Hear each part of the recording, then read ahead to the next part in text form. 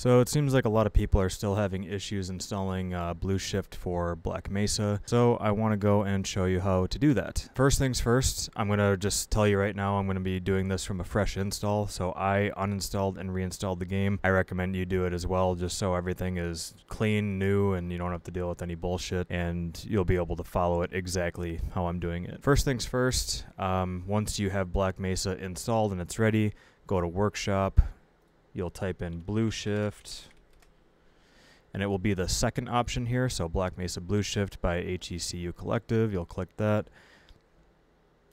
And if you're already subscribed, just hit um, unsubscribe and then subscribe again, and it will download those files. We're going to wait for those to download, and once they're done, we'll pick it back up from there. And by the time those files are done installing, Chapter 6 will probably be out because it takes so fucking long to install the files. But once they're finally done, you're going to go back to Games, view your Games library, go to Black Mesa, right-click it, go to Manage, and browse local files. So that's going to bring up this here. And these files here are the base game, so these aren't the actual mods or anything like that. What you're going to want to do is open up a new file explorer, and you're going to go to this PC, you're going to go to your program files, x86. You're going to go to Steam, Steam Apps, Workshop, Content, this last number here, and this number here. So all this shit is your mod. And what you're going to do is you're going to take all of this and drag it over to the base game files. And then after that, you should be able to just hit this, this B shift new UI dash unstable. Double click that. That should open the game. And it should be totally fine. So we're going to wait for about a day or two here for it to load, but it should pop up. And here we go. Computer's probably going to take a shit and explode loading this. Oh, looks like it's good. And there you go. There's your mod. Uh, the music's probably going to be extremely loud. Let me turn that down. So yeah, here's your mod.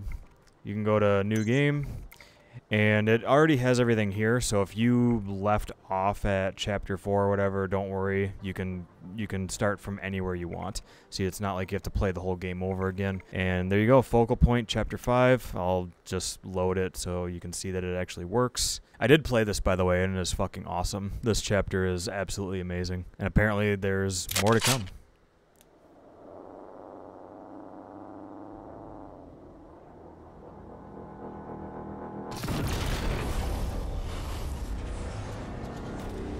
they did an excellent job with this mod. It's it's so good. It's so fucking good.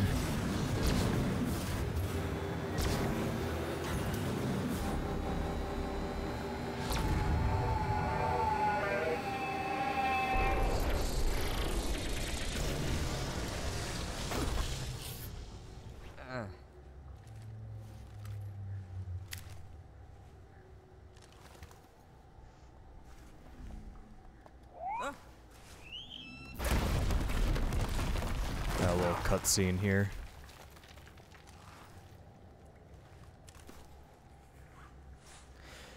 Also, I do want to add, check your resolution and everything because it might look a little fucked when you load it up. It's a little, it's a little iffy right now. I'm gonna, I'm gonna change that. Yeah, we got a little messed up there. There we go, and it looks much better. So yeah, there's there's your mod. There's your Blueshift Chapter 5 mod. That is how you go about installing it. Uh, if you have any questions at all, uh, feel free to ask in the comments. But otherwise, just follow that video exactly how I did it, and it should be no problem. You should be able to enjoy Chapter 5. Alright, that's it. Take it easy, everyone.